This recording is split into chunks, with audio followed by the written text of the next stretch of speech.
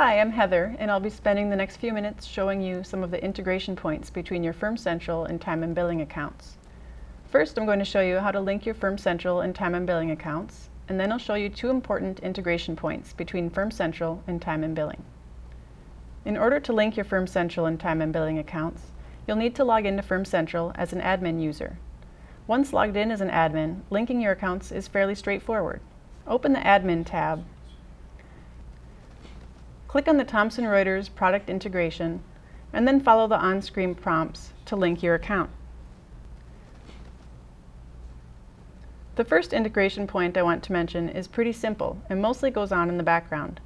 This means that there isn't anything you actually need to do for this integration to take place. Once you've linked your accounts, when you create a client, contact, or matter in Firm Central, that information will flow to time and billing.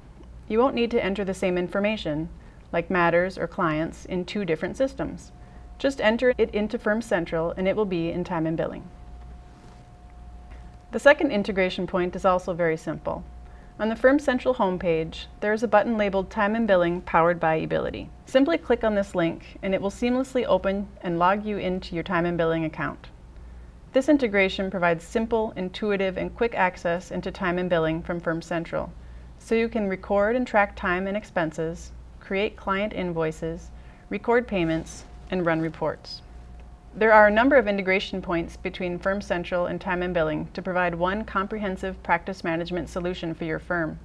It's very easy to link the two accounts together, and once that linking is complete, the integration is smooth and efficient. If you have any additional questions on using Firm Central, please visit firmcentral.com and click on the Support tab.